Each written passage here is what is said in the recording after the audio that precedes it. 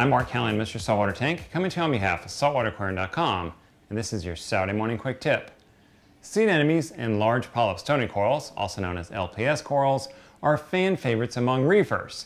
Sea anemones and LPS both have tentacles that sway in the current of your tank, and the wider range of colors makes them very popular.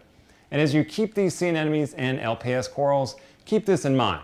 It's not uncommon for once, sometimes twice a day, for these sea anemones and corals to deflate fully deflate and quite honestly look like hell. For example, here's a Chicago sunburst sea anemone in the daytime. It's happy as can be. It looks great. Who would want that in their tank?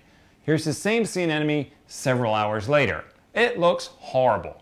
Now, at this point, most people freak out. They get on Facebook groups and say, no, what do I need to do? My sea anemone looks horrible.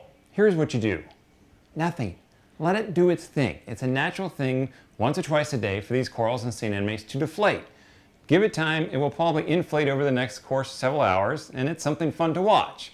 Now you do need to get concerned if days on end your sea anemone or your LPS coral doesn't inflate again. Then you have to start looking at water parameters. Is something picking on the coral, the sea anemone? That's when you get concerned. But keep an eye on your sea anemones and your LPS corals watch for that deflation and enjoy it. It's fun to watch them shrink back to nothing and then reinflate themselves. It's a fun part of reefing, always makes the kids excited, and it's something cool to show your friends. I'm Mark Callahan, Mr. Saltwater Tank, coming to you on behalf of saltwateraquarium.com. Till next time, enjoy your tanks, enjoy your deflation corals, and I'll catch you in the next episode.